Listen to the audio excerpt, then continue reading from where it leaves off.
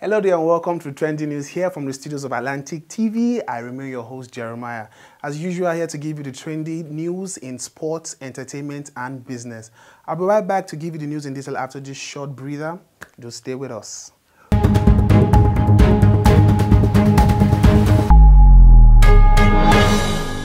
Welcome back. On to our very first trending news for the day. Tinubu proposes meeting with APC rep caucus on presidential bid. National leader of the All Progressive Congress, Asiwaju Bola is to meet with members of the ruling party in the National Assembly next Wednesday over his plans to become president in 2023. Tinubu conveyed an invitation to the APC caucus in a letter written to the President of the Senate, Ahmad Lawan, and Speaker of the House of Representatives, Femi Gbajabiamila, which they read out on the floor during plenaries on Tuesday. Moving on, Buhari Writes Reps request amendment of Electoral Act. President Muhammadu Buhari yesterday wrote the House of Representatives seeking amendment to the Electoral Act he recently ascended to. Specifically, the President is requesting that Section 84, subsection 12 of the Act, which prescribes recognition of appointees of government seeking to run for political office 30 days before the convention of any political party. Moving on, court sacks Umahi. Justice Inyang Ekwo of the Federal High Court in Abuja yesterday opened a new landscape in Nigeria's politics by ordering the governor of Ebonyi State, David Umahi, and his deputy, Dr. Kelechi Igwe, to vacate their office for defecting from the People's Democratic Party, the PDP, to the All Progressive Congress, the APC. Justice Ekwo said the disposition of the third and fourth defendants, which is Umahi and Igwe, in their counter affidavit were evasive and insufficient to completely challenge the plaintiff organizing progress. All right, moving on to our next story. FG has spent 400 billion naira on second Niger bridge. This is according to Gambari. The second Niger bridge, initially built for completion last month, but now rescheduled for October of this year, has cost the federal government about 400 billion naira, in addition to the 10 billion committed to the project by the former administration of President Goodluck Jonathan. Disclosing this yesterday in Asaba, Chief of Staff to the President, Professor Ibrahim Gambari, said contrary to insinuations, the project is being funded 100% by the Nigerian government.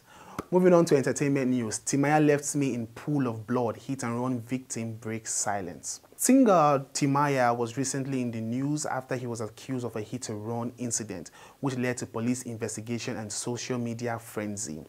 Days after the incident, the victim Oshimobi Damilola has broken her silence. According to her, the singer, after hitting her on March the 2nd, ran away. According to her, leaving me in my own pool of blood. In a lengthy Instagram post on Tuesday, she added, not only did he drag me on the road where I sustained injuries to my face, my two knees and my right hand, he ran away leaving me in my own pool of blood. Moving on to news happening across Africa. US banned Kenyan politician and family over corruption. The U.S. Department of State has banned flamboyant Kenya politician Mark Sonko and his family from traveling to the U.S. over allegation of corruption while in office. Mr. Sonko, who was the governor of Kenya's capital, Nairobi, but was impeached in December of 2020 over charges of abuse of office, gross violation of constitution, gross misconduct, and crime against national law. Mr. Sonko on Tuesday denied the allegation and said he was being targeted wrongly. Moving on to the business scene, CBN increased currency in circulation by 418 billion naira over cash transactions. The currency in circulation rose by 418 billion naira from 2.91 trillion in December of 2020 to 3.33 trillion in December of 2021, according to figures obtained from the Central Bank of Nigeria. The CBN data show that currency in circulation has increased by 19.0% from 2.44 trillion recorded as of December 2019. The CBN said in its report on currency operation that the growth in CIC reflected the continued dependence of cash in the economy.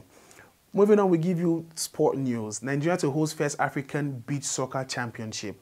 President of the African Beach Soccer Union, Alhaji Mahmoud Adija, confirmed this development in a chat while on radio.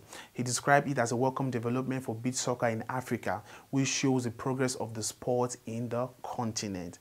Thank you so much for joining us on today's episode of Trending News right here from Atlantic TV. You can do well to follow us on all our social media handles now displaying at the bottom of your screen. Before we go, it is important for you to always wear your face mask, wash your hands regularly under running water, and by all means, as usual, avoid overcrowded places. Thank you until we come your way again next time. Do stay safe.